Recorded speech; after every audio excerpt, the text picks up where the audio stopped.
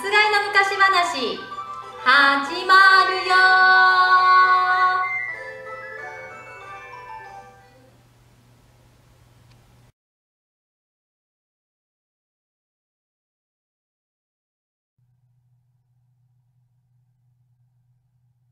お旗やぶとかぶと塚、勝川具足、勝川町。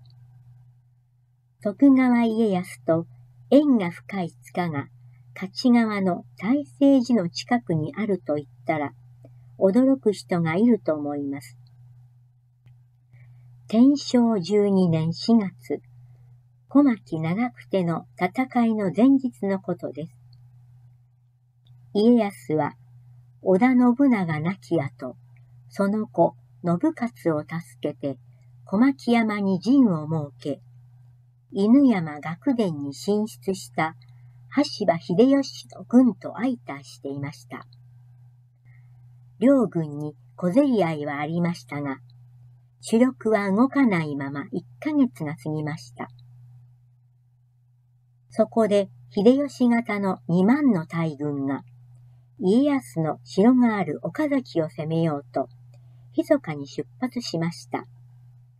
そして庄内川右岸の大止めから上々にやってきて、川を渡って長久手方面に向かいました。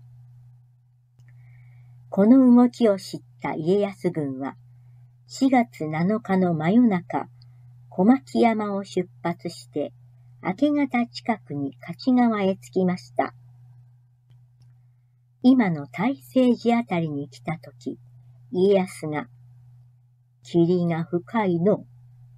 ところで、この村は何というところか。と尋ねると、案内をしていた勝川の豪士、長谷川仁介は、はあ、近くに庄内川に浅瀬があって、勝ちで渡れることから勝川と申します。と答えました。家康は、なんと、勝ち川とな、勝ちか。出陣にあたって誠に良いなじゃ。この戦はきっと勝てるぞ。早速、旗竿を切れ。と、上機嫌で命じました。近くの竹やぶから、上りや旗の竿を切らせました。軽い身なりで隊を進めてきた兵士たちに、鎧兜をつけさせ、新しい旗を立てさせました。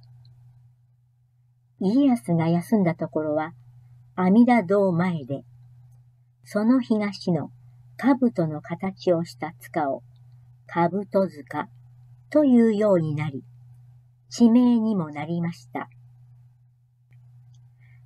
家康軍は戦いの用意をし、旗をなびかせて庄内川を渡り、長久手を目指しました。そして、見事に戦いに勝ちました。家康がこの時つけた兜の前面には、ピンと伸びたシダの葉がつけられていました。後に、この鎧兜は、勝川具足と呼ばれ、大事な戦いに勝った縁起の良い武具として尊ばれました。徳川家で一番大切な鎧兜として、三代将軍家光が久能山東照宮から江戸城へ移しました。毎年1月11日の具足開きには江戸城の一番格の高い部屋に飾り、大名たちを集めて、武運長久を祈りました。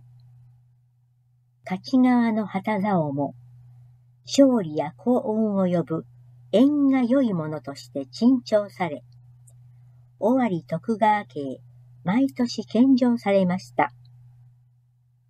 勝川には、徳川家康と縁の深いものがいくつかあることが地域の誇りになっています。